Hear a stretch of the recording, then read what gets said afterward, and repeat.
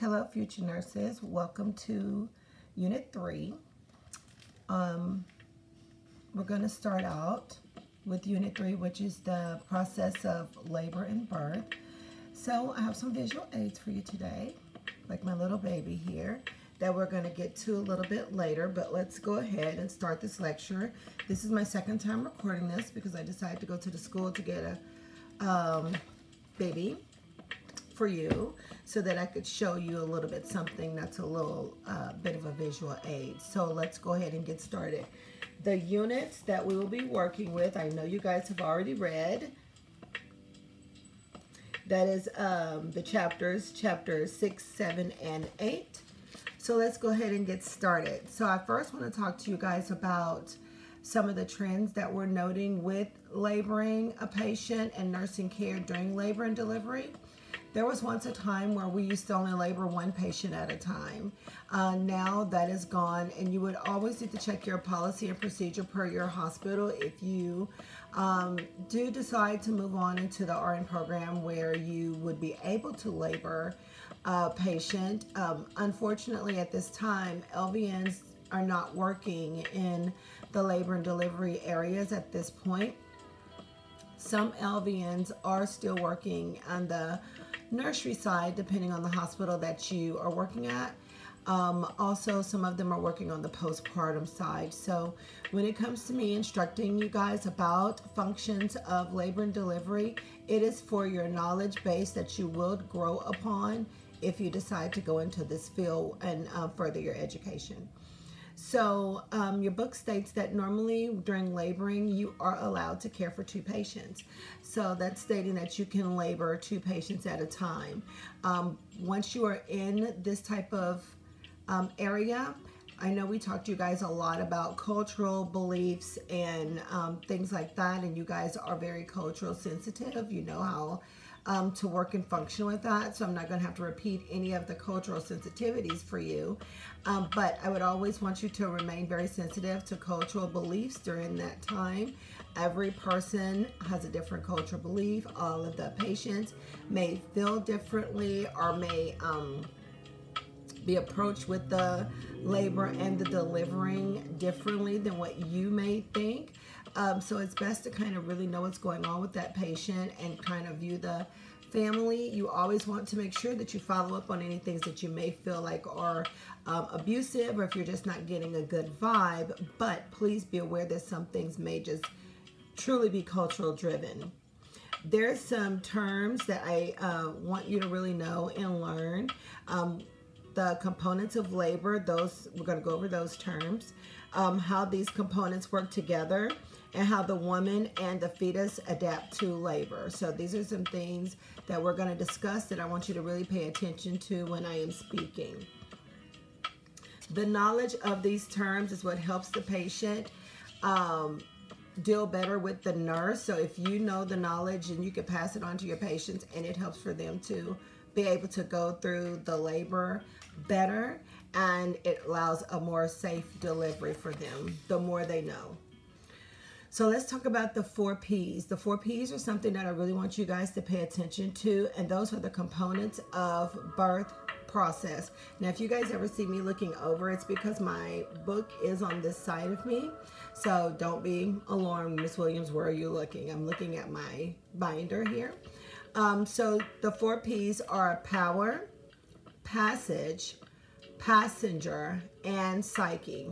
So those are the four components that I need you to know. Please write them down. The four P's stand for power, passage, passenger, and psyche.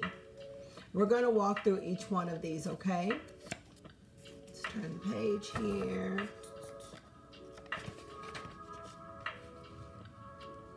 Okay, the powers are the focus, um, the power forces that we talk about when we're talking about the cervix.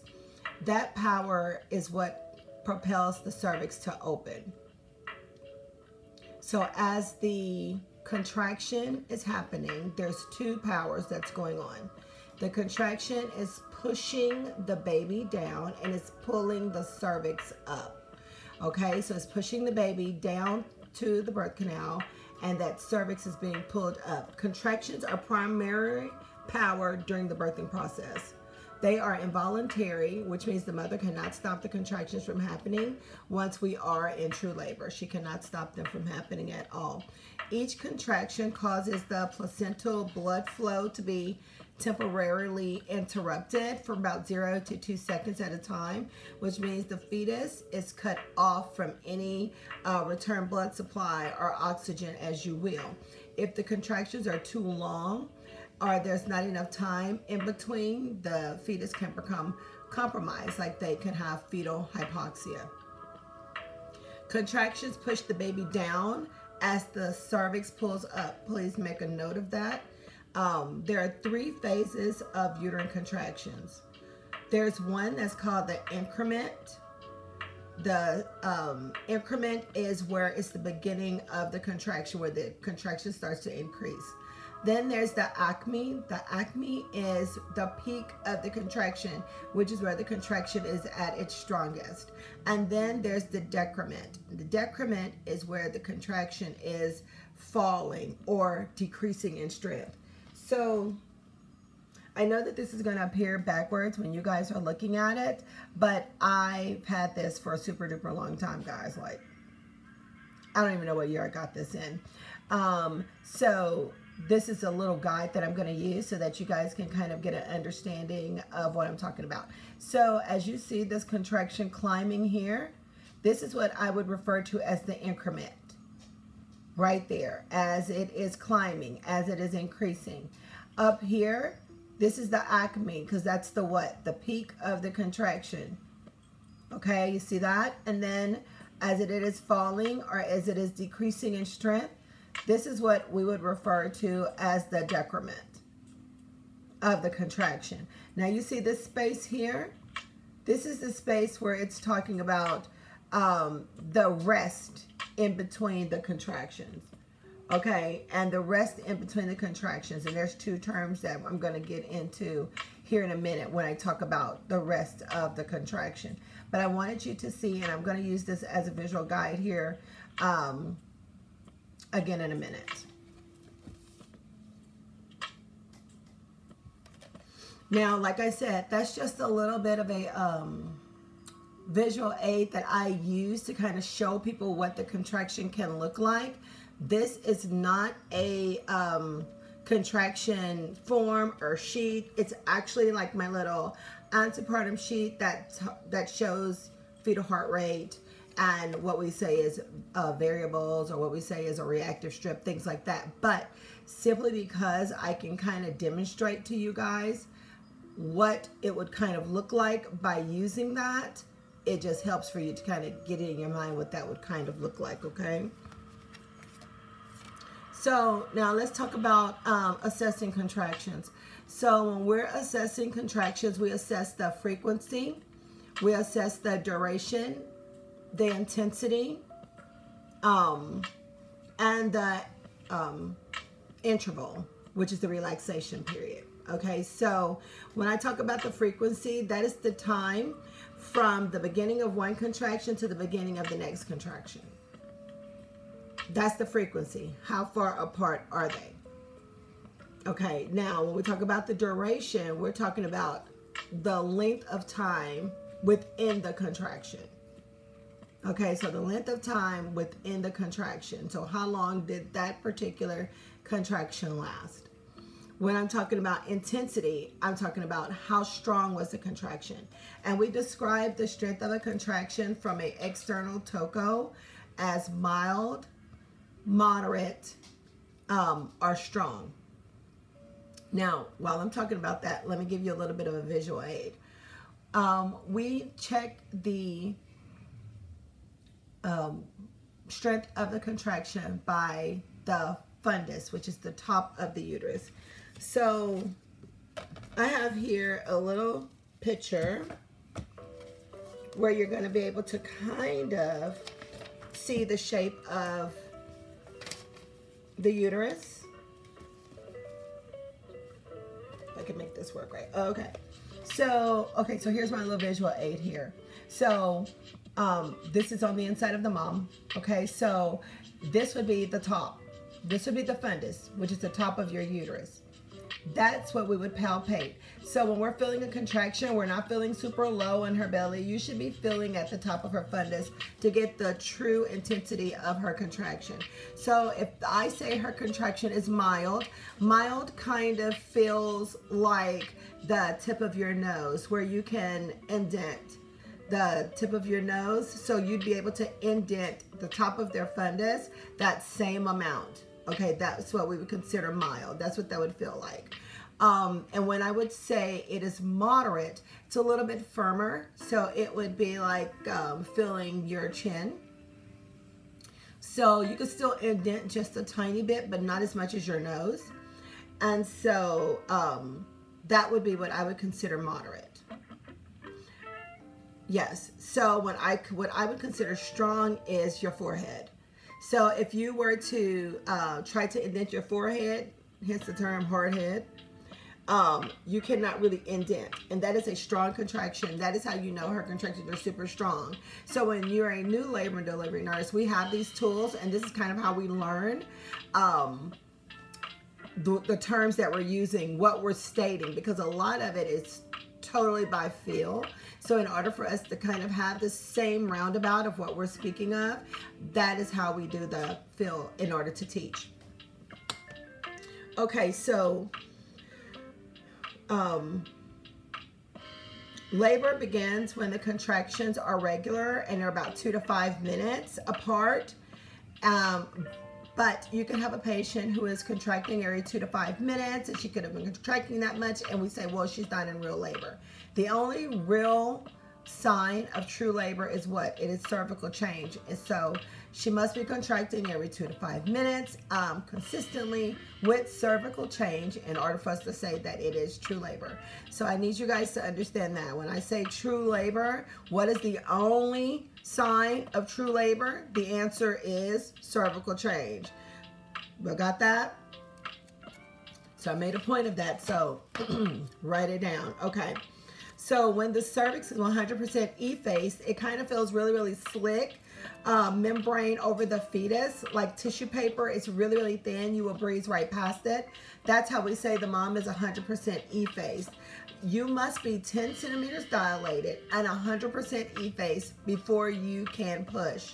Okay, so on my little visual aid here, guys, I've also had had this like a million years. I don't know, maybe 19, 18, something like that. But I've had this for a super long time. This is um, one of the tools that I use um, to really kind of grasp the understanding of my true uh, digital cervical exam so that I know um, what the cervic dilation was. This was one of the tools that I used. But back to what I was saying. This is what we would consider 10 centimeters dilated, okay? So when I say a patient is 10 centimeters dilated, that means that I can feel the circumference all the way around her head. So basically, the baby's head. So basically, when I'm checking her, uh, my hands are so far apart. This is what I mean, that I could feel the whole circumference around the head. That is my 10, where I could feel all the way around the baby's head. So this right here is showing you that this is 10 centimeters. Okay, that's about right right? And this is showing you that it's 100% effaced. So this little pink line that's going around here is signaling that the mom is 100% effaced. That means that there's no cervix left. You cannot feel anything. All you can feel is your baby's head. So I like to show you guys kind of like the difference between 100% effaced and 0% effaced, just so that you can kind of have a grand understanding of what I'm talking about here. So you see this thickness here? This is what we would call 0% efface. You see how thick that cervix is around there? That's zero. That means her cervix is really thick and she still has a long way to go. So this is considered 0% effacement. All right. Let's keep on pushing. The nurse palpates um, the fundus when she is talking about the intensity and when she is giving report to the physician about how far along the contractions are apart, uh, what's the duration, the intensity. This is where she needs to use her mild, moderate, and firm technique in order to give the physician a true account of what's going on so that the doctor will know this is, you know, her cervix is going to change, she's in adequate labor or not. During the relaxation stage, the fetal oxygenation is restored. Uh, they must have relaxation time for the baby to be able to tolerate labor. Fetal compromise could result if the contractions have a duration longer than 90 seconds um, and intervals shorter than 60 seconds apart. So you guys can get a little bit of an understanding of that from skill 6-5, but I'm going to show you something real quick. Let me see here. Oh.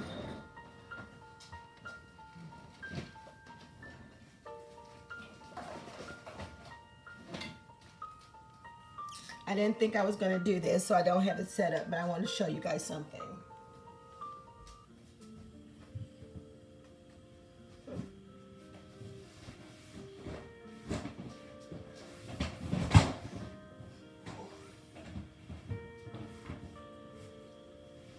Well, don't leave, guys. don't leave. Hold on.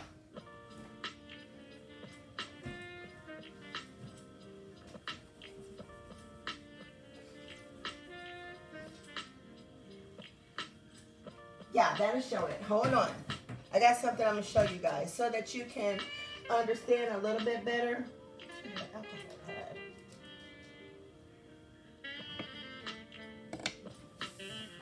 Hold on, I'm looking for something to fix this little board because I want to show you something. It's going to really help you get a better understanding.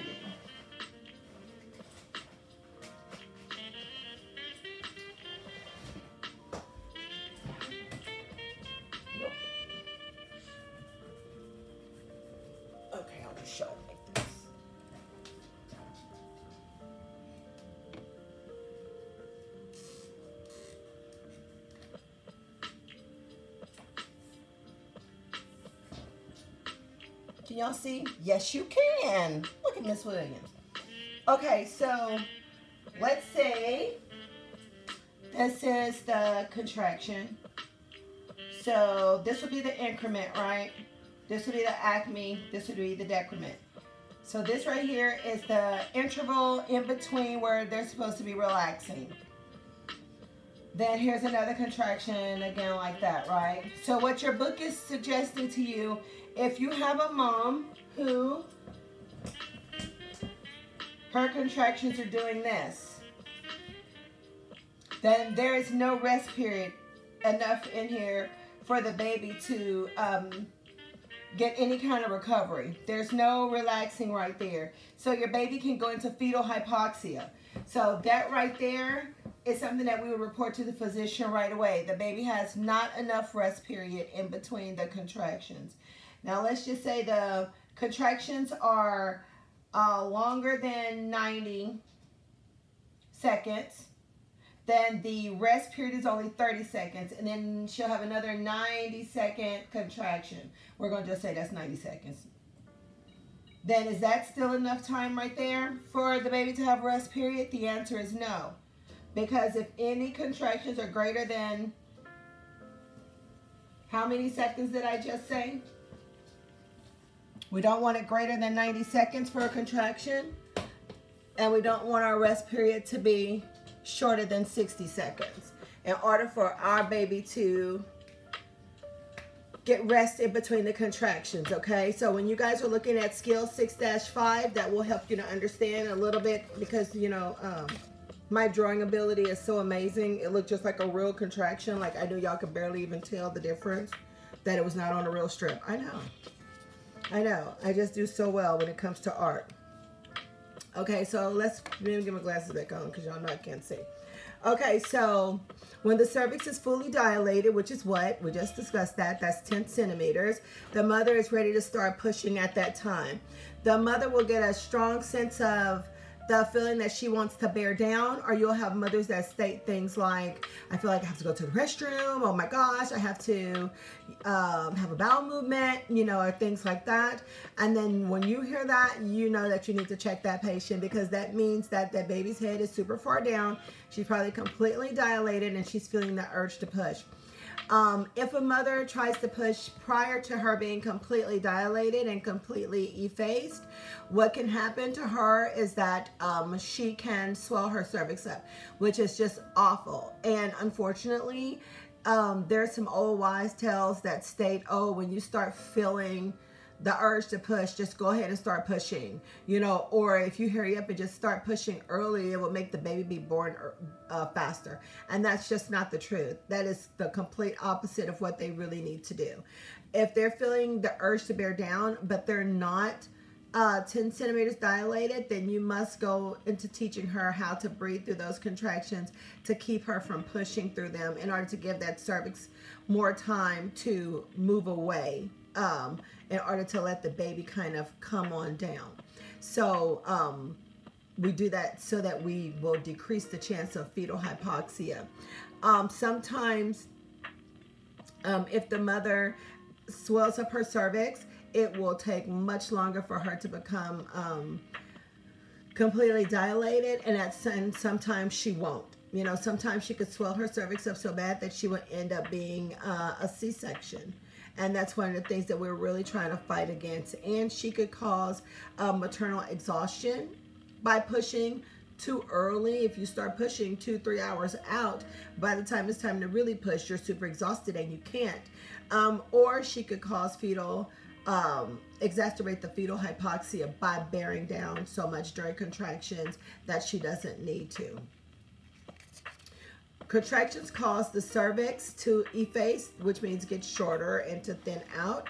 And the contractions also push the baby down into the birth canal. So I have my little baby. Where's your cervix? I have my little baby and my cervix here. So this is my cervix when it's closed, completely closed. Can't press my finger through it. My um, cervix is 0% effaced, okay? Now, when we're having a contraction, what is happening is, is every time we have a contraction, our baby is being pushed further and further down. Hold on, let me get my baby together for y'all. Okay, so the contraction will pull the cervix up, make the cervix shorter, and it will also push my baby down at the same time. Okay, so like now here, this mom, should this mom be pushing? No. What I call this cervix, um, 100% efface? Nope.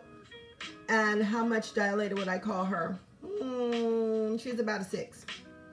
So would I um, ask this mom to push even if she's feeling uh, the urge to push, no, don't look at my baby's foot. Look at the head right there. Okay, so no, but this is what it's doing. The contractions are making the cervix push up and it's making the baby um, go down into the birth canal. So two things are happening during the contraction and I need you to know both. Two things are happening. The contraction is causing the cervix to efface, which means get shorter and thinner. And the contraction is pushing the baby into the birth canal. Make sure that you know both of them. Um, also in your book, there's a figure that shows you what 10 centimeters dilated is. I like to show you guys from my little visual aid here as well. And I'm going to start at the one so that you guys can kind of have a different visual aid than what is in the book. So this is my one centimeter. When I first started learning how to do cervical exams, I had another um, help aid that was sort of like this, but uh, a little bit more primitive, if you know what I mean. And so um, this is how a lot of labor and delivery nurses um, learn what the feel of their uh, centimeter dilation is. So this is what I would consider a one. This is one centimeter, which means I can get my fingertip through. Okay, just my fingertip, not a whole finger, but just my fingertip through is what is, what's my one centimeter. This is the graph for two centimeters. And as you guys can see, please pay attention to the effacement. And I know that this is backwards when you're looking at it, but just follow along with me. So this is the effacement. Um, so this is 10. Make, just keep, a, keep an eye on that. So my two centimeters, uh, my fingers are a little bit overlaps. My two fingers are. My fingers are not side by side. This is my two. As you can see, that's my two. So that's two centimeters here. Three centimeters, my fingers are slightly apart. That's two, I mean, that's three centimeters, okay, right there. Two centimeters, and look at the cervix. Look at its thinning as she's becoming more dilated. I skipped one. This is four, four centimeters four. Five is more like my peace sign, five. Six centimeters, look at the effacement, that's 70%. Look at how thin it is now. So that's my six. Seven centimeters, should the mom start pushing now? Oh, she's seven, let's go pushing. No, let's not. We're gonna make her have maternal exhaustion and we could start, um, swell up her cervix. Now look at here on 8 centimeters. Now our mom is about 100% efface. It still does not mean she can push because she's not yet 10 centimeters. She's only 8. That is about my 8. Skipped one again. 9. Now with 9 centimeters, some people um, will call their 9 a 10 and their 10 a 9. You have to really have done labor and delivery for a while to kind of be straight on a lot of times. With my 10, I know that I'm going to scoop all the way around that baby's head. I'm going to almost feel the ears. Um, so this is my 10. Okay, this little thin covering here, that just kind of signals my amniotic membrane. So that's a little bit of a visual aid that will kind of um, help you guys a little bit see something a little bit different than what you're seeing in your book. So let's go ahead and let's talk about the um, another one of the P's that we were talking about. Uh, let's talk about passage. So when we're going ahead talking about passage, we're talking about um, the way in, in which the baby passes. So we're going to talk about the bony pelvis. And the bony pelvis is divided into two parts. It's the false pelvis is the first part, and that's the upper flare part. And then the true pelvis is the second part, and that's the lower part.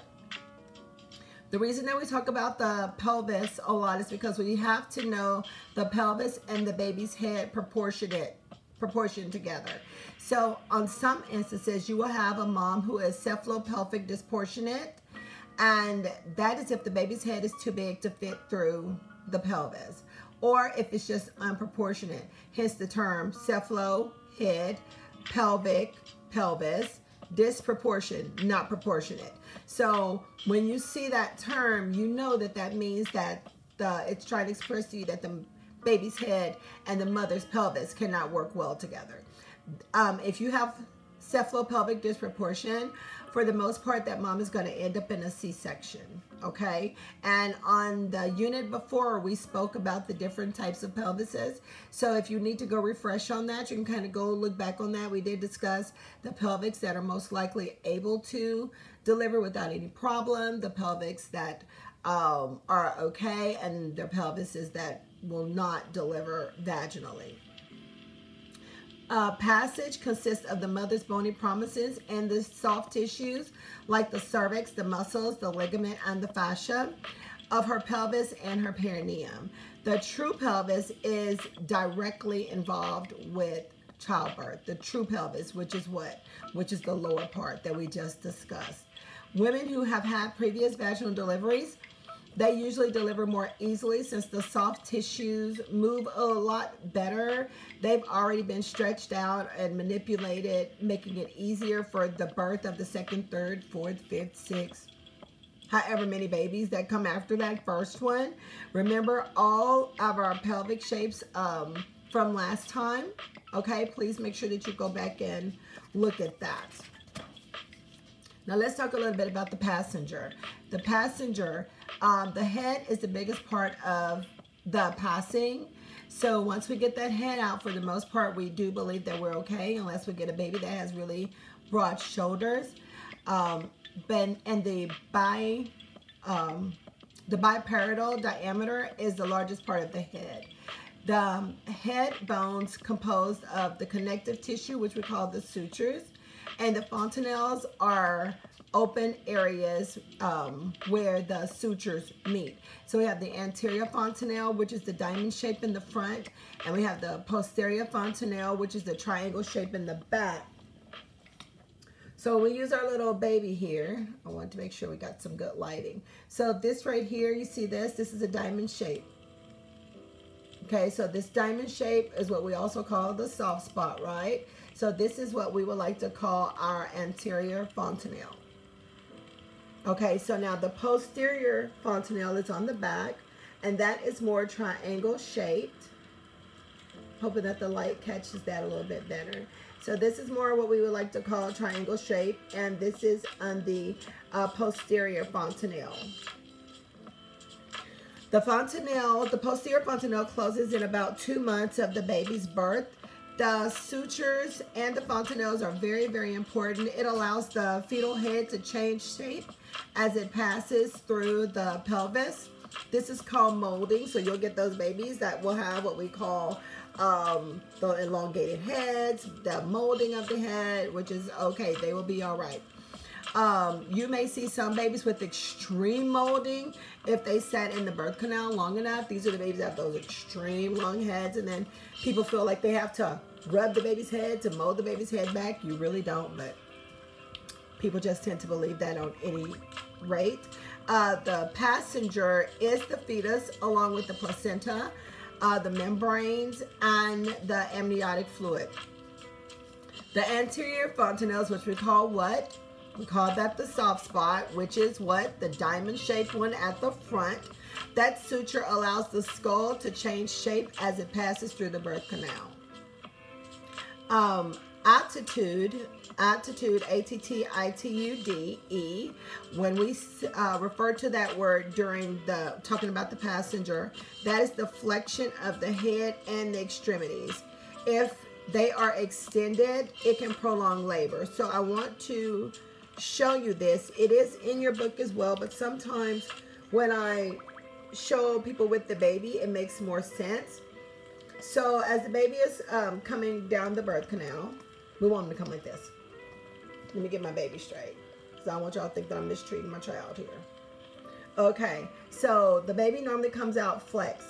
Flex like that. You see his little chin is tucked, tucked down to his chest. It's much easier for him to get out. Okay, so now if we have a baby that's flexed up, where their head is flexed like this, this is a much harder delivery. Or they try to come out just like this, sunny side up, flex like that. They're being very nosy. When we say, oh, it's a nosy baby, it's because their nose is pointing up because they're flexed upward. That's a much harder delivery because this is a bigger surface area than what? Than this. Okay, so that's what we're talking about when we're talking about the attitude, the flexion of the fetal head and the extremities. So when we talk about the word fetal lie, make sure you write this down too. Fetal lie is how the baby is positioned in relation to the mother's spine. So um, this is also um, one of the things that's really going to let us know if the mother is going to do well, if she's going to be able to deliver fine, um, is the fetal lie. So 99% of the births um, are longitudinal. So when I'm talking about longitudinal and I'm talking about a, um, I'm going to demonstrate here using myself. So the, this is longitudinal to the mom's spine. So that means the baby is coming down just like this. This is what I would consider longitudinal. Okay, now this is transverse. Your baby is all to the side. You cannot push that out. Okay, so what the physician would try to do is what we call an external version. So they would try to turn this baby in utero from the outside in order to make the baby be longitude in order for you to be able to push the baby out. If the baby is transverse or if the baby is breech and we cannot turn the baby around, then that mom is going to be a C-section. Okay, external versions are still done. Some mothers state that they are a little bit pain full. Um, most moms, if we're going to know that we're going to attempt to do an external version, she will have an epidural on board. And a nurse is never allowed to do a version.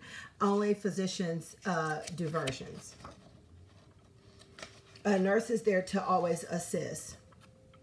There are different ways the fetus can uh, present. Um, and whatever way they present, we call that the presenting part. So if the baby is head down, the head is the presenting part. If the baby is breached, then the poor bottom is the presenting part. Okay, that's how we describe, describe the presenting part. Fetal presentation uh, refers to the part of the fetus that enters the pelvis first.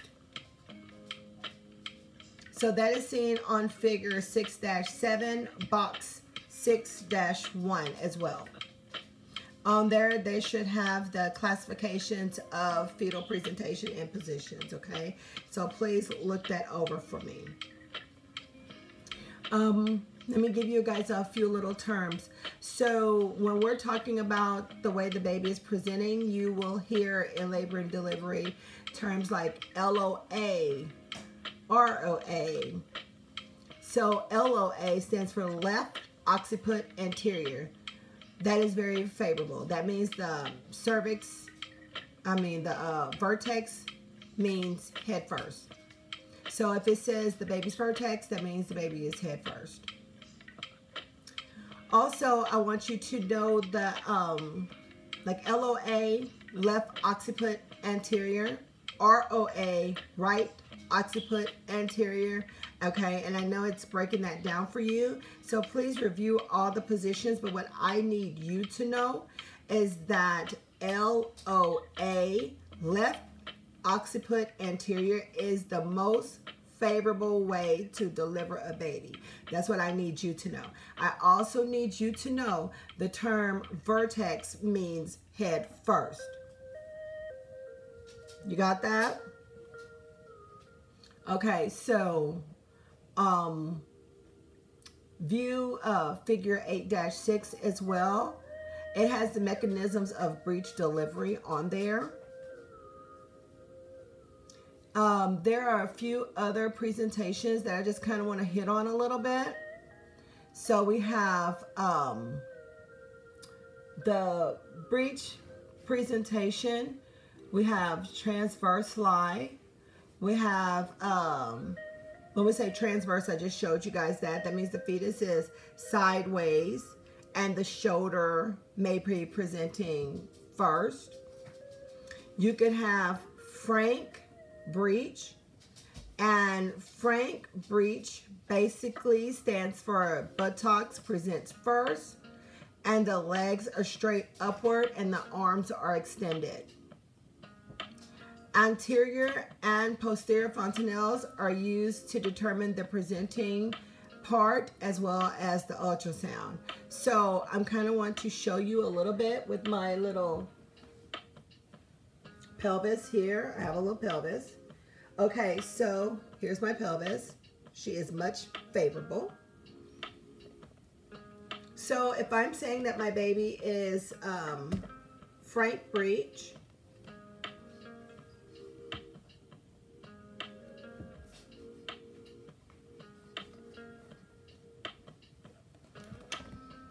he is most likely sitting in her pelvis like so.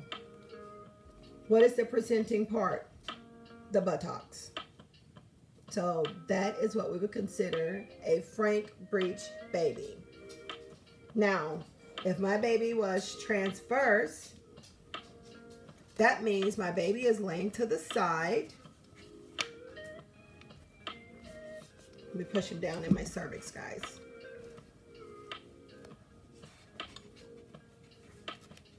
He cannot even get all the way down into her pelvis because he's laying to the side. And his presenting part would be his shoulder. You see that? He's transverse. He's to the side. So he can't even get all the way into her pelvis. Am I correct? Now, if we say, okay, our baby is vertex, that means our baby is what? Head down. This is our vertex baby. In our pelvis. I hope that little visual aid helps you guys out so that you'll know or it will ring a bell to you when you are taking your test or when you are speaking to people about it or if you guys get a position on a postpartum floor. So like we just said, with frank breech, the buttocks is a presenting part and the feet are over the head and the baby is like in a pike position. So they are like so. He is looking like this. Pike position. Arms could be doing anything, but his legs are straight up just like that.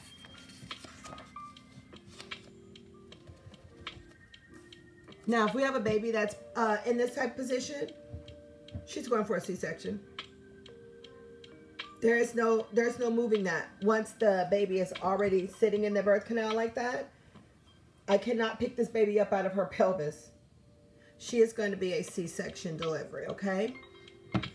So let's go ahead and talk about an external version a little bit. Um, I know we've already discussed it, but I just want to make sure that you guys understand it. An external version is what we would consider a maneuver uh, to move the mom. It is a maneuver that manipulates the fetus um, in, into a presenting position that is more favorable for a delivery externally by the mom's, uh, putting your hands on the mom's abdomen.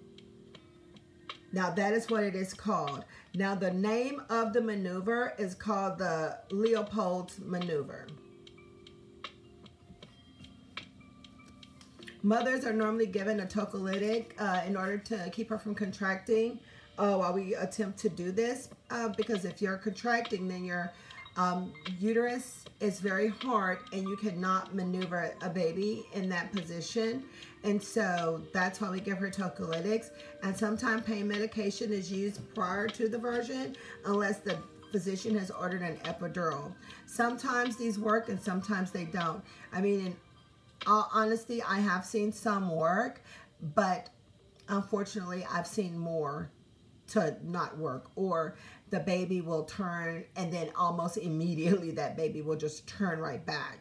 Um, and they will go right back into the uh, position that they were before. If we have a successful um, external version then that mom is most likely put on Pitocin right after that in order to go ahead and force the baby to stay in that position and to make the contractions do what? Move the baby down into the birth canal and help move that cervix up, okay? So we will start right away with the Pitocin, okay? External versions, like I said, they can um, work or not work. And some mothers say that it's uncomfortable. Some mothers say that they don't feel it. Um, but the real true name of the external version is called the Leopold's maneuver.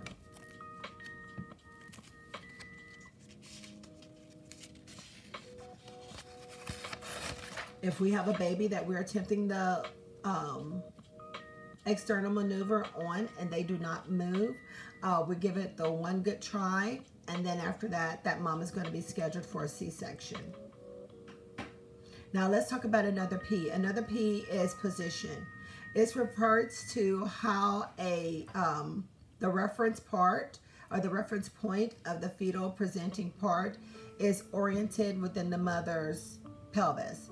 So occiput refers to how the head is oriented if the fetus is in the head down position and sacrum is used to describe how the fetus is breech presentation is oriented to the pelvis. Occiput describes how the head is oriented if the fetus is in a head down position. Please make sure that you know that. Sacrum is used to describe how the fetus in a breech position is oriented in the pelvis. So I need you guys to make sure you know that. Sacrum, sacrum. You should, you should get, I mean, like, just think about it. Sacrum, you would think the lower half. So that would be a breech position. Occiput would be a head down position. Presentation refers to the presenting part. And the pelvis is divided into four imaginary quadrants when we're talking about the mom's pelvis. the right and the left, anterior and posterior. The reference point is what equals to anterior or posterior of the fontanelle. And which side of the pelvis is where we get the right or the left, hence the term LOA, left occiput anterior, or ROA, right occiput anterior. But as I discussed before, the most favorable is what? LOA. Please make sure you know that. Let me get past some of these pictures that I made copies of for you guys because I thought I was going to be able to show you in class, but um, thanks to uh, Corona, we're not. So I'm going to just go past some of these. Okay, so let's talk about station. Um, when we're talking about station during a delivery, the station is the level of the presenting part. Usually the head, you know, unless the baby is breech, in the pelvis. It's estimated in centimeters from the level of the ischial spine in the pelvis. When the presenting part is at the ischial spine, the station is zero. This is called engagement. So, you guys, I want you guys to really be familiar with the stations. All right, so hits again. Let's go with that baby. So if our baby is in the pelvis like so, if our baby is way up, our baby here is way up. She's not even at zero station. Once our baby comes down here, this is where we would consider our baby at zero station, and we're grading that per centimeters from our ischial spine. Okay, so station is how far down in centimeters the baby is. That's what station actually means. Station, where's the baby stationed? How far down? And that is measured in centimeters. And it is measured in centimeters per the ischial spine. That is what you need to know. Zero station means that the baby is engaged, engaged in the pelvis. That's what zero station means. And zero station is right around here. I know you can't see as well, but you could, that's where you would be zero station. So the baby is engaged. If the baby is super high up in the pelvis, we would call this minus three or floating. And that's like this. The baby is super high in the pelvis. They're not even engaged. You see, they're nowhere near. So they're floating up in the pelvis. They still can bobble up and down in there.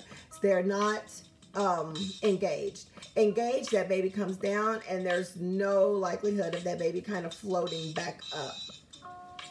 So we need the baby engaged in the pelvis. So if the baby is minus three or greater, we consider that floating. Now let's talk about the last P, which is the psyche. During childbirth, it involves the entire being um, and the mental state of the mother is a huge influence. Um, so we really need her to be as calm as we can. Make sure that she's in a good headspace um, during her labor. Fear and anxiety causes secretions of stress hormones and um, it is believed that sometimes the more stressed the mother is with those stress hormones, the more, the harder it is for her to labor naturally. And, you know, it may take her a little bit longer that is just what is kind of believed. So that's why educating your mom is the best thing that you could do for her. It makes her feel a little bit more comfortable and then she can go through her labor a little bit better. If she's well informed, she's relaxed more. And if the mom is relaxed, then she can uh, it could really decrease her labor time. So education and helping control her environment is what a good labor delivery nurse can do. So let's talk about impending uh, signs of labor. So we have um, Braxton Hicks. Braxton Hicks contractions, those are very irregular and they start and they stop sometimes. There's no rhyme or reason behind them a lot of times.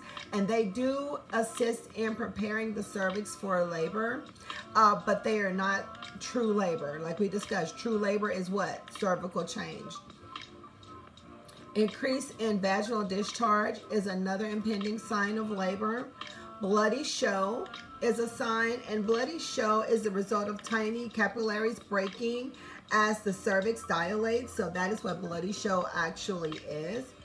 Rupture of membranes, that is also an impending sign of labor. Um, PROM, that's a premature rupture of membranes. That is a higher risk for infection and chance of the cord prolapsing and um, compression by the fetal head. Um, so we really, really want to be careful when we talk about PROM. Nesting is another impending sign of labor that a lot of people do still really believe in. And that's when a mom will have a burst of energy and she'll start cleaning and prepping for the baby and, you know, washing all the baby clothes and kind of getting everything together. Just this surge of energy that she has. Um, weight loss water loss due to hormonal changes. It's not a huge weight loss. It's normally like one to three pounds of weight loss. Um, the mucus plug may be lost. This does not always happen for everyone. And losing the mucus plug does not necessarily mean that delivery is about to happen. It can be lost about several weeks prior to actual labor beginning. And the truth of the matter is, is that some women don't even really know when they lose their mucus plug um, because sometimes you'll have increased vaginal discharge or um, when you are pregnant.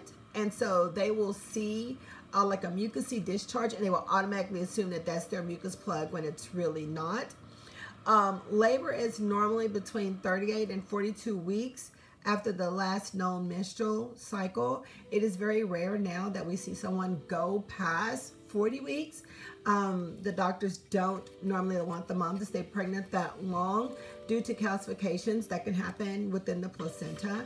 So you will see a lot of people um, delivering more around the 38 to 40, but um, your book states labor is normally between 38 and 42 weeks after LNMP, which is last known. I'm sorry, yes it is. I can't think, but it is the LNMP, which is the last uh, known menstrual period. Um, let's talk about when the mom needs to go to the hospital. Um, this kind of varies. It's different according to what the doctors state for the moms, or if it's her first baby, or if she's had several babies or if she's had a precipitous labor. These things are kind of, these things will differ, okay? So go to the hospital. This is what we teach our new moms. Go to the hospital if you have contractions for more than one hour. For a prima gravida, that is a first time mom, if the contractions are regular, about two to five minutes apart, and they've been happening greater than about an hour. Now for our multi-gravida, that is um, a mom who's had several babies. Um, contractions are regular and they get longer and stronger. She should go to the hospital when her contractions are about 10 minutes apart for about one hour because her body is going to um, maybe move a little bit faster if she ruptures her membrane at all, she is to go to the hospital immediately. What some moms do is they make the horrible mistake of, oh my, okay, so my water broke, so I'm gonna get in the shower and I'm gonna, you know, clean up the house and I'm gonna call my husband, I'm gonna wait. No, no, no. If your water breaks, you are to immediately go to the hospital. This is what you teach all pregnant women because anything could happen. The cord could slip and get compressed by the head, and there's no way for them to know that. Okay, they're not going to feel it.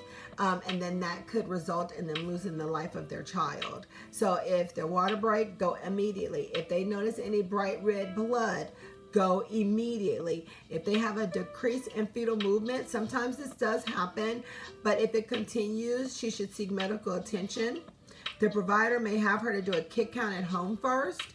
Um, but if she's um, ever concerned, like she's done the fetal kick count or she knows that her baby normally moves after she eats and the baby is not, we do not mince words. We just say, okay, straight to the hospital you go and let us check you out. And if you have any other concerns, that mother should go to the hospital. Some moms will say things like, I just feel like something is not right. I know I've told you guys this before. If a mother ever says to you, a pregnant woman ever says to you, I don't know, but I just feel like something is not right, go to the hospital that you're that's it so that we could check you out with true labor the contractions will become more frequent and they will be in, um, increase in pain and the mother will dilate and her um, cervix will change.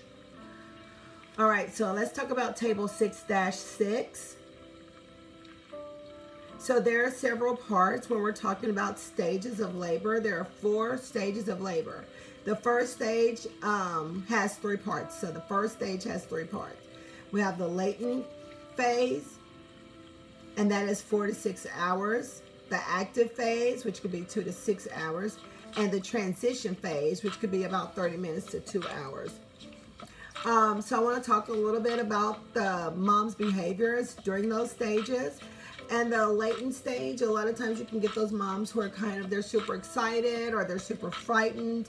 Um, but they kind of are just kind of going with the flow a little bit, trying to figure out what's going on. During the active phase, these moms start to kind of become a little bit more intense because things are changing, the pain is increasing.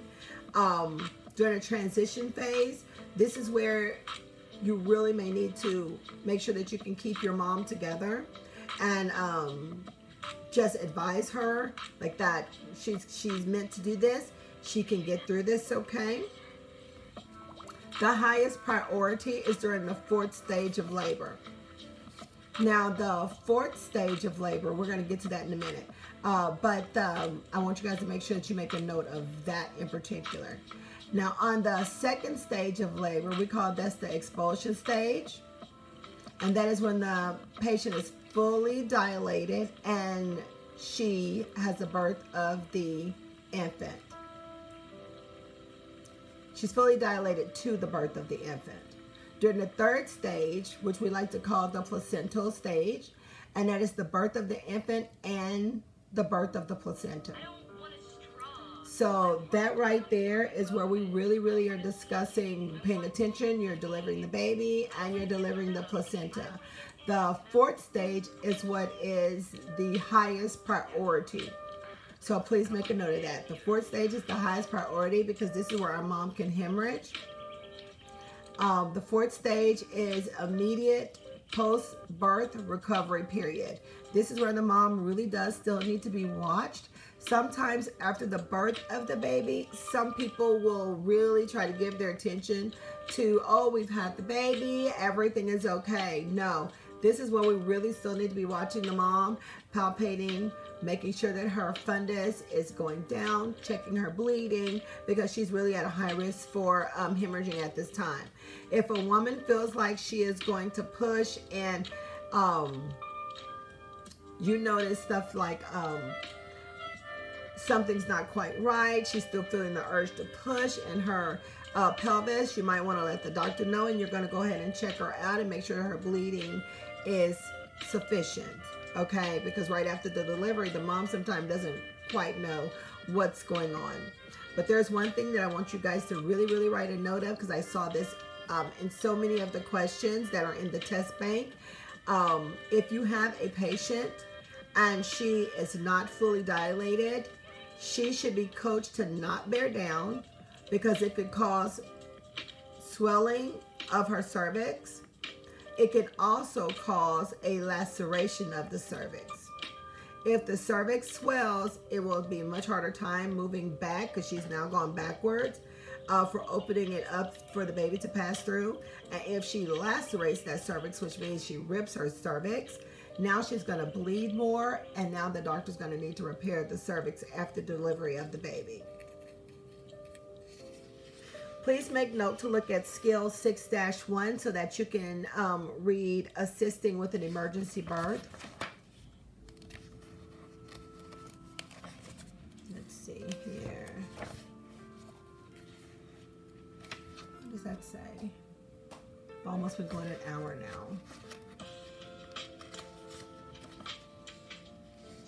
Okay, so let's talk about a few of the terms of mechanisms of labor, like descent. Descent means the station is it in the negative. Uh, engagement, that's if the station is at zero or halfway down the pelvis. Flexion, we talked about flexion, about the baby's head. Um, if the baby um, head should be flexed down to um, chin to chest, this is flexion here. This is how we want our baby to come out. Flexion, chin to chest, like that. Not like this. Okay.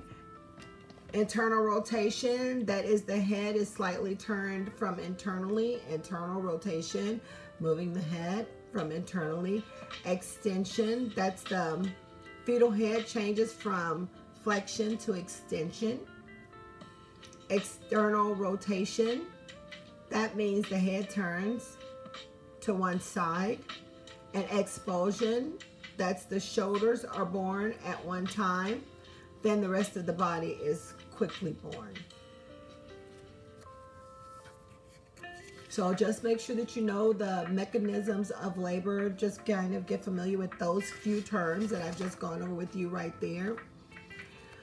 Uh, we discussed already what true labor was. And so I kind of want to let you guys know what a little bit of the uh, false labor is. So true labor means what? The uh, characteristics of changing from the cervix, which means the, the woman is having contractions and her cervix is changing. If her cervix is not changing, she is not in true labor. Um, the woman is usually sent home after about one to two hours of monitoring for changes if the cervix does not change um, or if her contractions stay the same or go away. Now, um, some people get kind of confused because they're like, oh, well, they sent me home and I was contracting. Okay, well, you were in false labor because if your cervix did not change after us monitoring you for an hour or greater, then you are in false labor. Um, so the patient should be encouraged to return if they notice that there's anything that changes or if she thinks her false labor has changed to true labor. It's always better to be safe than sorry. Some moms will say, well, I'm not coming back because you guys just keep sending me home. Well, then you need to educate them, hey, false labor could turn into true labor at any point. So if these contractions get closer together, if these contractions um, get higher in intensity. If your water breaks, if you notice bright red bleeding, all of these things you need to return. Better safe than sorry. So let's talk about assessment of a laboring patient.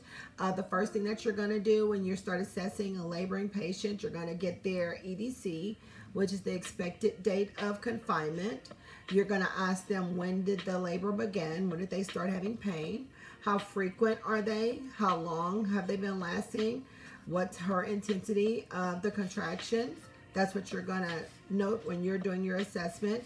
So that means that you're going to put on the monitor and you're going to note the frequency, the duration, which is how long the contraction is, the intensity.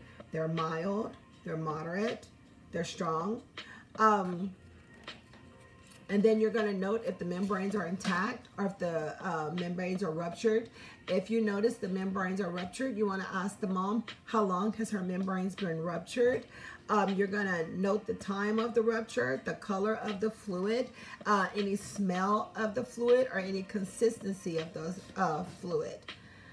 Uh, assessment of amniotic fluid um, is very important and the time that the woman ruptured. You must find that out if she ruptured outside of the hospital. Um, when in doing the assessment, you're going to also note the fetal heart rate. Uh, normal um, heart rate you're okay with and you're going to determine the fetal heart rate. Please read over uh, that. It is in your book and it's skill 6-6. So you want to note what the lower limit is, and then you want to note what the upper limit is of the baby's heart rate. Make sure that you know that. And then also, you're going to monitor the mother's vital signs. Now, when you are um, monitoring the mom, you're going to make sure that you put the um, Toco on her to monitor her contractions. And then you're going to put the external fetal monitor also on her abdomen so that you can pick up the fetal heart tones. Um, we do this as soon as we get the moms on the floor. This is one of the first things that we do, and we do it while we're asking all of the rest of the assessment questions. So please note that there's a picture there for you guys to see that and the skill is skill 6-3. Make sure that you note that. Also during the assessment, you're going to notice the emotional status of the woman, okay, who's with her. If they're causing her any distress, you're going to note that as well. You're going to do a vaginal exam so that you can note what is her cervical dilation at the time of arrival. What was her effacement? What was the presentation? What was the station? These things that we've just gone over. Um, also,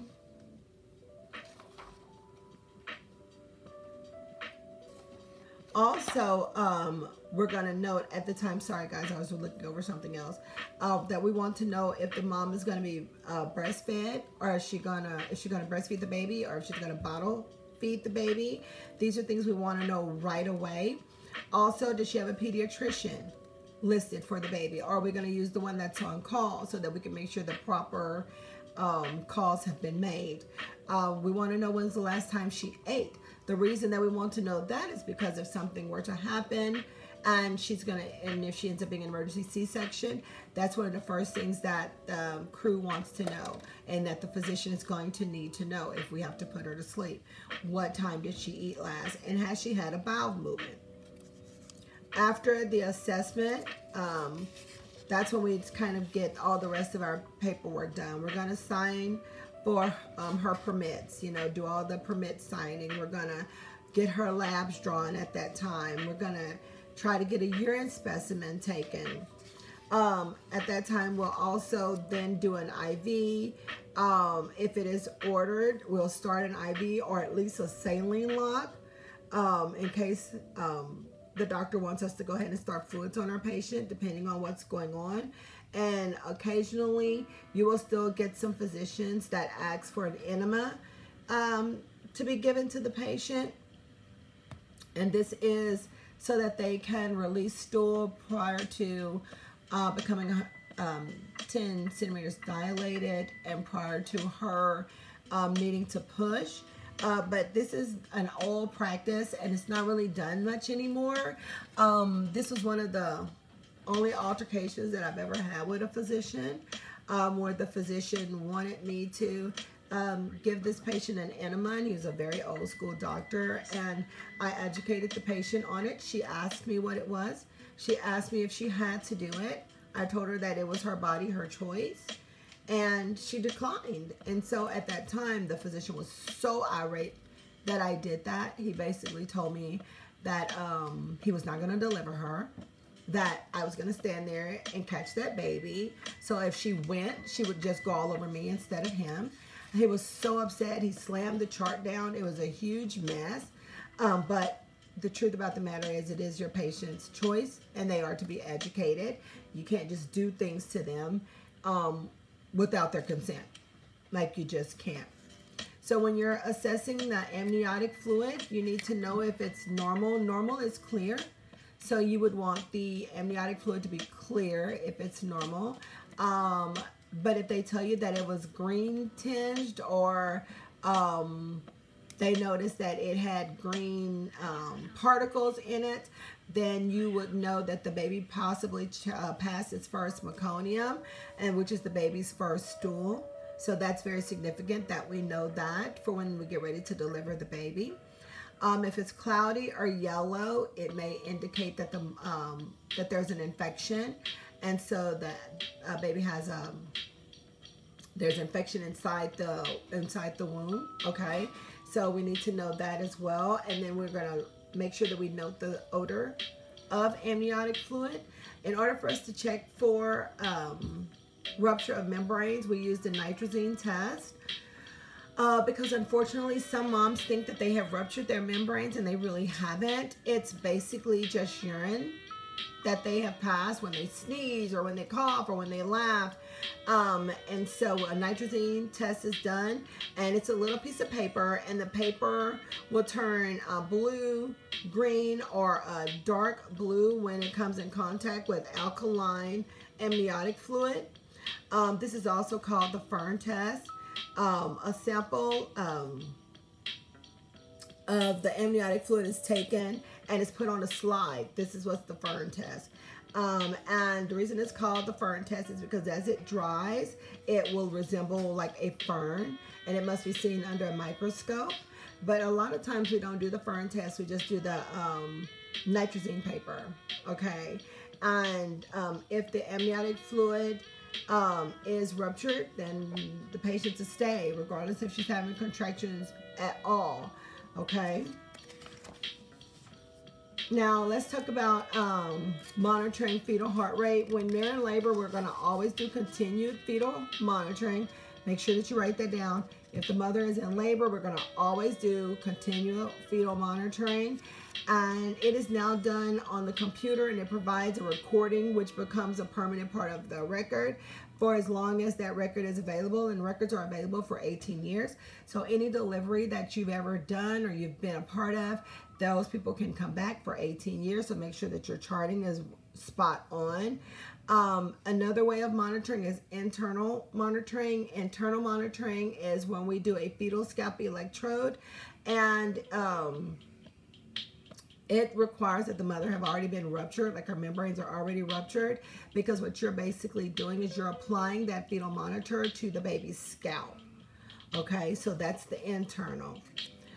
Usually, um, when we have the, when we put the mother on a, a toco transducer, we're going to feel for the top of her fundus and make sure that we find a good place so that we can get a good reading on how strong these contractions are. And let me think another thing I want you guys to know about this. Um, in order to have an idea of where to listen for the heart rate, the nurse must first be very familiar with the uh, fetal presenting position. And so once you're feeling the outside of the uterus, you can kind of get an idea of how that baby is lying in there um, in order for you to know exactly where you want to put your external fetal monitor in order to listen to the fetal heart tone instead of just searching all around her abdomen because sometimes when nurses do that they make the mom a little bit frantic because she thinks that you can't find her baby's heart rate or there's something wrong with her baby's heart rate when that is not the true deal so kind of get an idea of the uh, positioning of your baby and then put the uh, external fetal monitor on Let's see. Okay, so um, talking about monitoring the mom, when you are doing monitoring, you um, have to chart. So you're going to want to uh, do fetal heart rate monitoring of a low risk mom. You will do it every hour during the latent phase and every 30 minutes during the active phase. And in the second stage, you would want to chart every 15 minutes on the fetal heart rate. But if you have a mom who is a high risk mom, then during the latent phase, you're going to monitor her fetal heart tones every 30 minutes and every 15 minutes in the active phase and every five minutes in the second stage.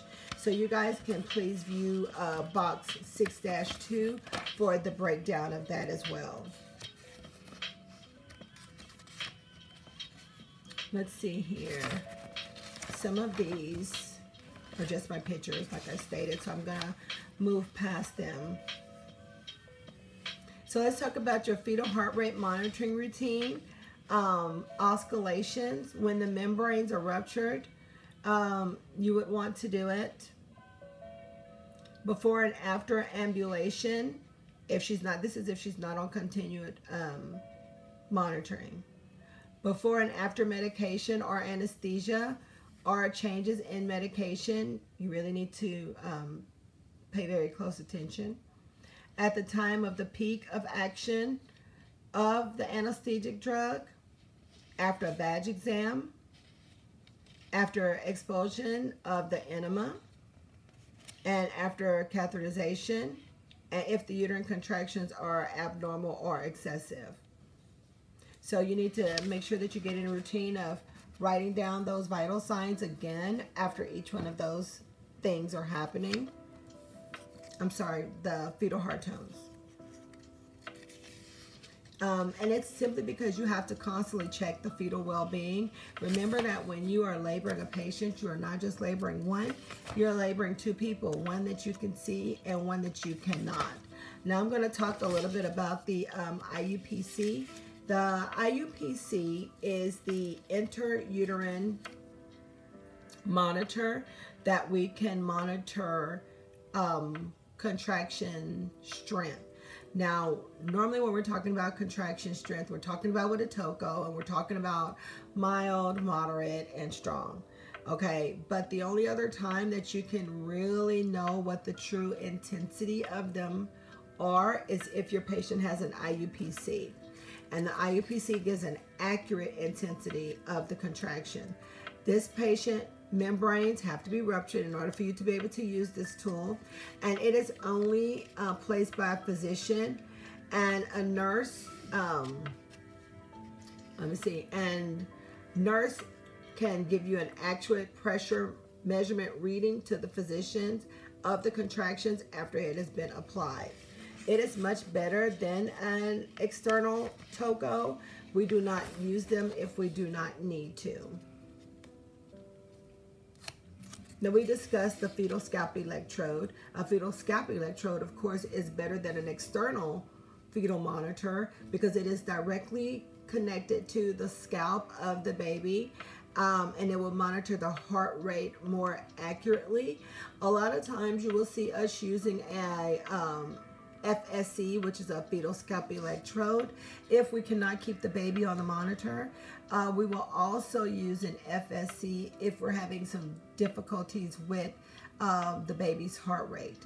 Same thing with the um, IUPC, the internal um, contraction monitor. We will use that if we're having problems or if we need to know exactly how strong these contractions are. And for both of those, please make note that the membrane must be ruptured for the FSC, fetal electrode, and the IUPC. They must already be ruptured. Now hold on guys, I'm trying to see if I'm going to go ahead and do a break here. I kind of doubt it.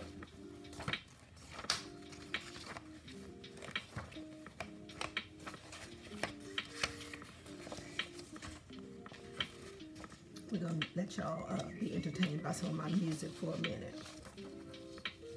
Okay, so let's talk about changes in the baseline or the fetal heart rate. So when we're looking at assessing the fetal heart rate, we're looking at uh, accelerations. Um, we're looking at early decelerations, variable decelerations, and late decelerations, which are really bad. So accelerations is the increase of at least 15 beats per minute over the baseline, which lasts about 15 seconds.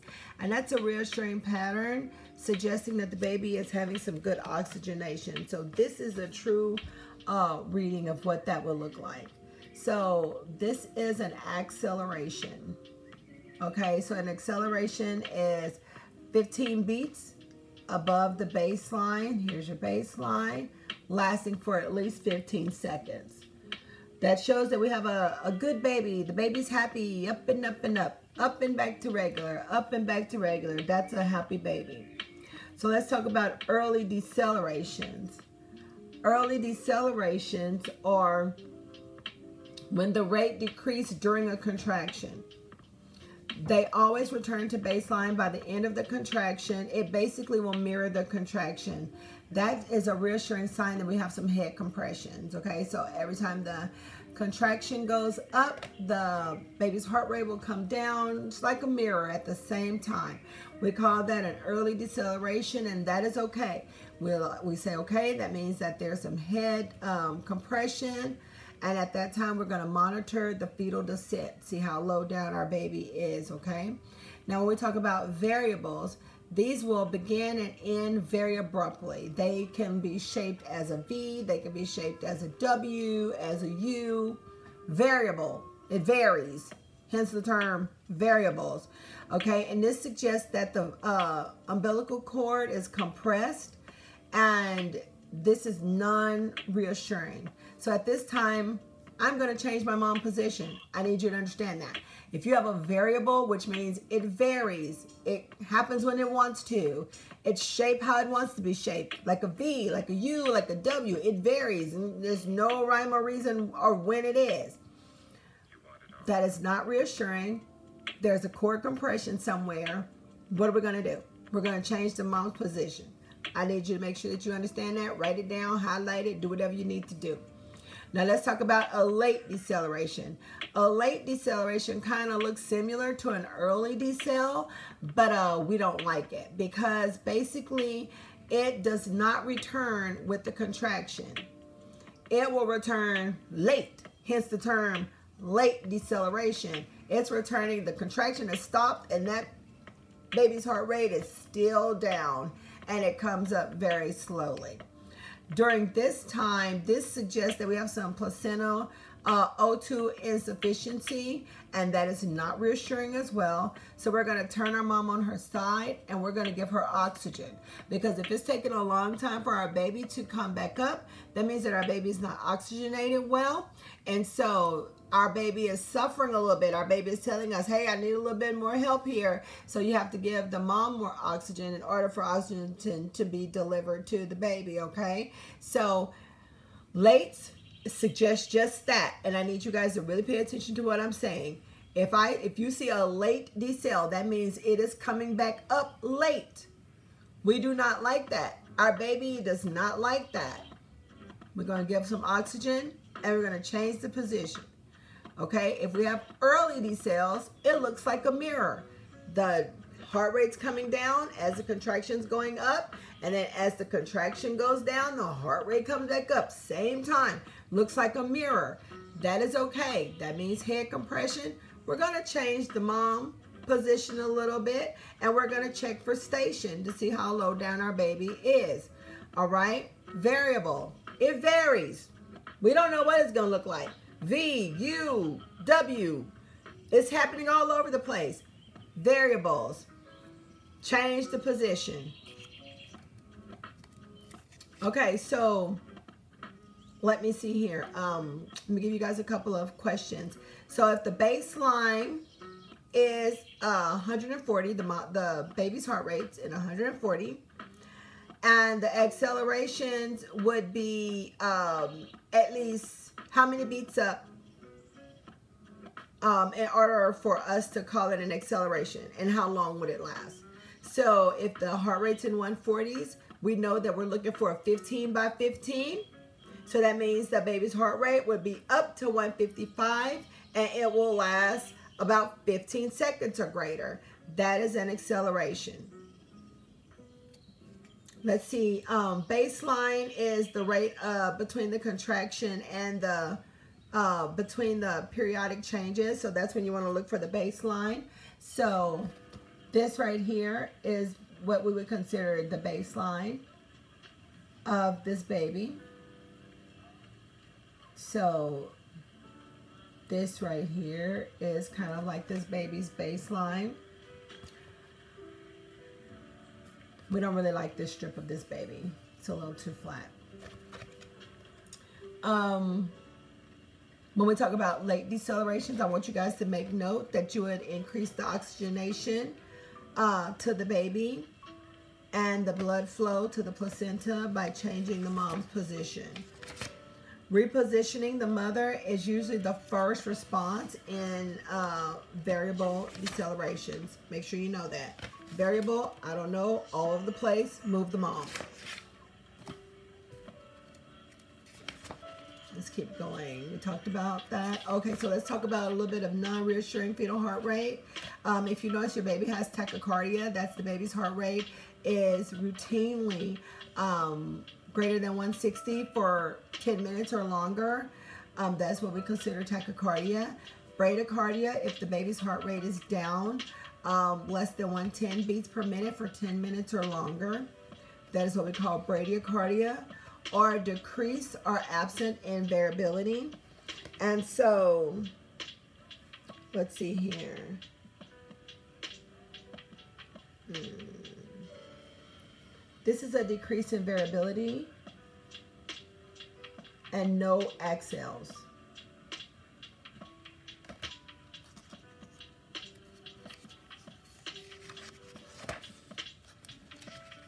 Pictures, pictures, pictures that you guys can't see because of Miss Corona. So, uh, on your slides, you're going to be able to see um, what early decelerations are so that you can see that mirror. So please pay attention to what that looks like. And that baby's heart rate will come down and then it'll easily go back up. It will mirror. I just need you guys to make sure that you understand that. It will mirror, but notice they are with the contractions. So they're not variables. Early decels, they are with the contractions. And late decelerations are just as I stated. They are late. They are all over the place. If you have a late deceleration and they are occurring um, after the beginning of the contraction and they do not return until the uh, after the end of the contractions at some point, these suggest that the placenta is not delivering enough oxygen to the fetus. Like I said, it is non-reassuring. And with the lates, you will, if the mom um, is on Pitocin, the first thing that you're going to do is shut that off. With lates, you will turn your mother on her side, put an oxygen mask on her. That Pitocin is off. You may increase your uh, LR or whatever is your uh, regular fluid that is um, running at that time according to your doctor. If lates continue after you do the intervention, um, you would of course call the physician, let your charge nurse know, these kind of things.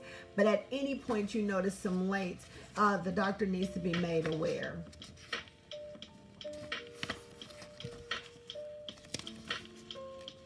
Let's see here.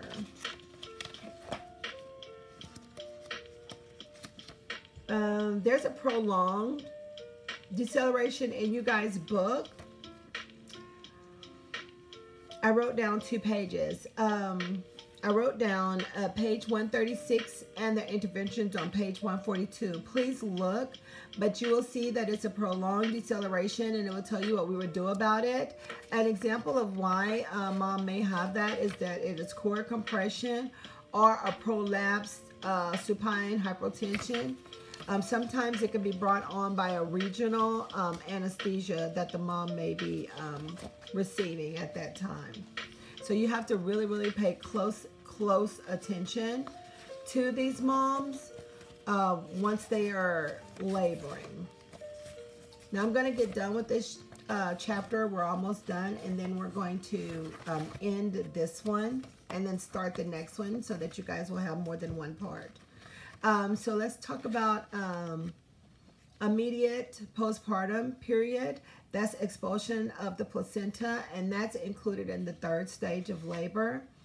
Um, so it is either considered or noted or charted as Duncan's delivery or Schultz delivery. Now, the easiest way for me to remember that is, uh, unfortunately, we would call it Dirty Duncan or Shiny Schultz. And Dirty Duncan, which means the um, dull side of the placenta. So it's the side that looks kind of um, um, balled up, you know, it's the most membraned looking um, side. So they would call that dirty Duncan or dull Duncan. And then shiny um, is what we call the shiny Schultz. So when the fetal side of the placenta is delivered first, we call that the shiny Schultz because that's the part that is that encases the baby, the shiny portion. The dirty Duncan side is the side that's attached to the mom. Okay, that's how the nutrients and everything are getting through. So we do make a note of which way the placenta came out. So, we, and we would chart it as such. Shiny Schultz or dirty Duncan. Okay, but you would just say Schultz or Duncan. But that is the best way for you to remember in your mind the two. That's how I remember the two. The fourth stage of labor is one to four hours after the birth of the placenta or until the mother is stable. This is the most important activity for the nurse is to prevent hemorrhage by fetal massage and assisting um, and assessing the mom um, lochia during this time observation of the bladder. Now we were going to have a uh, really nice OB lab, which I'm going to still try to figure out how I can do for you guys and film it. Um, but this is an important part of the postpartum right after delivery is observation of the of the bladder. Um, and the urine output is very important because if the bladder is full, then the um, uterus is going to be misplaced, which means that it's going to be sitting to the side a little bit and it's going to capsulate more blood and it is going to become soft. It's going to become boggy. And so the mother is more likely to bleed more. So we need to make sure that we are keeping her bladder empty. Um, the uterus will be higher than expected and displaced on one side um, if her bladder is full. This will inhibit uterine contractions and it can lead to your mom hemorrhaging. Pain after vaginal delivery. The perineum is usually bruised and very sore. Um, and I would I want you guys to know for this action, an ice pack can be applied for up to 12 hours to reduce swelling of her peri area. Then a warm pack may be used after the first 12 hours. Um, and the doctor may also order a sitz bath for the mom to help perineal healing. And we will give the moms what we call a peri bottle to help them to clean after they go to the restroom um, to void because this keeps the area clean and it keeps them from wiping um, from an area that's already, you know, very tender and sore. But FYI, the uterus should maintain a firm contraction. It should be massaged in order to maintain it to be firm during this whole period. Fundal massaging will go uh, we'll go over this a little bit more later, but that is a very important function that you need to know after delivery in order for us to make sure that our mother's just not going to uh, bleed out. Now we're going to talk a little bit, almost done with this chapter, we're going to talk a little bit about care of the newborn immediately after delivery. The first phase of caring for the newborn immediately after the delivery um, is immediate care after birth. And that's the first phase. It's immediate care after birth to one hour, and it's usually done in the delivery room where the mom is. And we'll discuss that a little bit more in the next chapter. The second phase is from one to three hours after the birth, and it's usually in the transitional nursery or on the postpartum unit. This is where this is done. The third phase is from 2 to 12 hours after the birth. And this is also normally done on the postpartum unit or in the room with the mom if they're rooming in, which is what a lot of hospitals have gone to. And you never base um, resuscitation on an APGAR score. Make sure that you know that. An APGAR score, it is a tool. It is only a tool. So I'm going to talk about the phases just a little bit, and then we're going to move on. The first phase during that, that is initial care of the newborn, and it includes uh, maintaining thermal um, regulation, making sure the baby stays nice and toasty, maintaining cardiorespiratory function, make sure that you know the baby's heart rate, the baby's respirations, observing for urination, has the baby passed urine, has the baby passed meconium, performing a brief assessment on major ab, uh, abnormalities, encouraging bonding or breastfeeding if that's the if the mother's choice is to breastfeed. If it's not her choice to breastfeed we're going to still encourage bonding at that time. Um, the infant will be uh, have some blood on it maybe and amniotic fluid and um, all healthcare givers must wear uh, gloves when handling a newborn until the baby's first bath. Um, during this time, we will also get the APGAR score. The APGAR score is based on the heart rate, respiratory rate, muscle tone, um, uh, reflexes, response, skin color. This is on table dash um, 6-7, so you can look at that and please follow along. And it shows how they are scored. I'm also going to do a whole video for that for our OB lab, so more to come on that. And the infant can get cold stress very easy, so it's very important that we make sure the baby stay warm.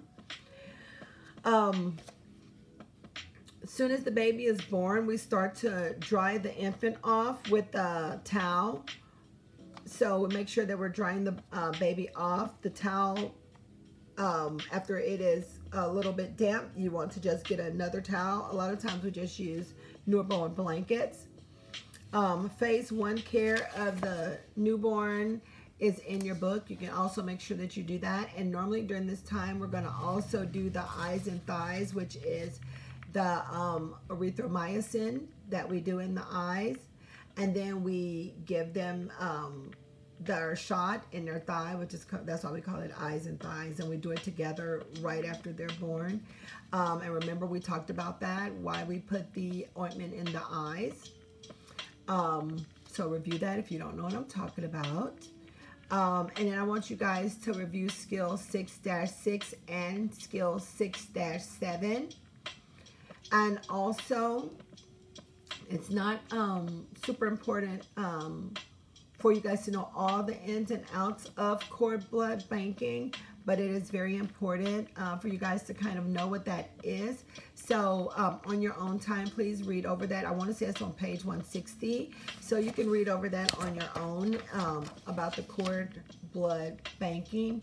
Um, so at this point, I'm going to go ahead and conclude this chapter and then I'm going to go ahead and upload it so that I can make sure it gets up okay. And be sure to